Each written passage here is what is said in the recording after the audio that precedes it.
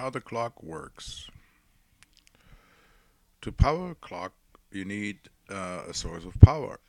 Usually, this happens with uh, gravity. Uh, on Igrand clocks, you see weights going down slowly, slowly, powering the clock with uh, just simple gravity. In this clock design, the power comes from the wound up um, metal spring that is encased in this housing here. The ratchet prevents when you wind up, the ratchet prevents that the the power gets lost immediately. That stops the uh, spring from uh, expanding instantly, locking the shaft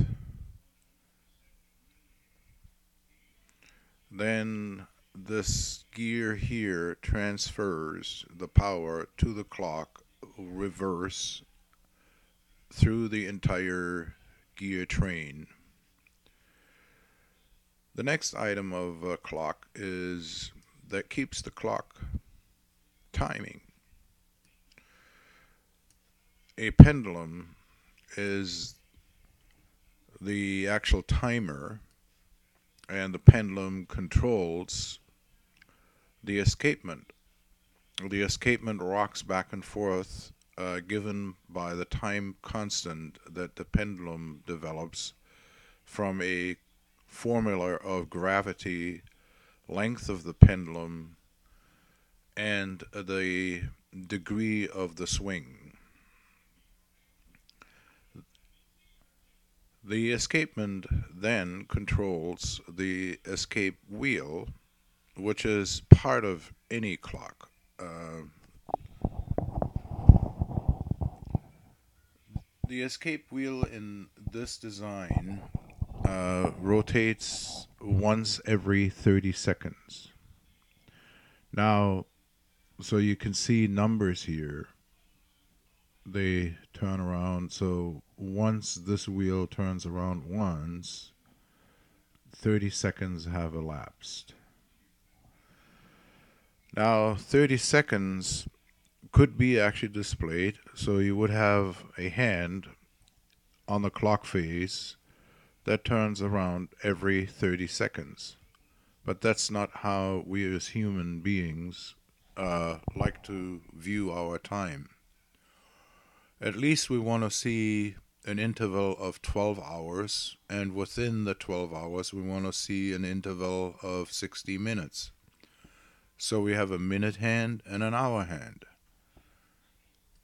The way this is controlled is by a series of uh, of uh, gears and gear component uh, composites that reduce the 30 second turn into 3,600 uh, seconds by this gear, which is attached, where the minute hand is attached to this gear. Then the 3,600 seconds, that's uh, 3,600 seconds per hour. That means when this gear turns around once, we have the minute hand go around one hour, counting 60 seconds. From there, we divide by 12. That is done by four gears. Uh, the four gears are one is actually obstructed here. There's a there's a gear back here. This gear. This gear. No this gear. And this gear. They actually divide the hour the full 60 minute hour movement by 12 and that gives 12 hours so this has to turn 12 times for the hour hand to move once, uh, to move once around. So 12, full 12, uh, 12 hours. Now, each individual gear composite uh, subdivides uh, the 30 second the th- 30 second rotation and and gradually gets the 3600 seconds uh, used to turn the minute hand wheel here. So there are individual composites the first gear the second gear and the third. The third finally translate transfers the rotation to the minute hand from here. That's how this clock works. I started off designing this clock uh, animation uh, about 12 months ago a magic number 12. Uh, worked out pretty well. I like the way it looks now.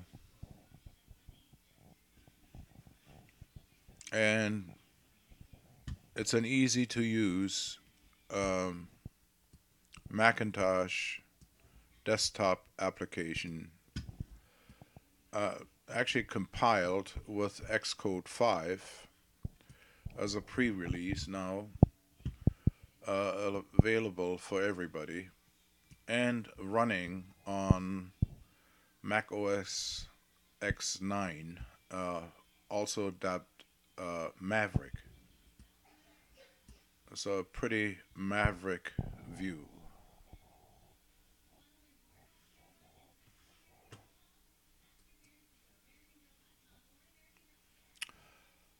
Oh, and by the way, uh, visit igrandclock.com, the location where you can download this application.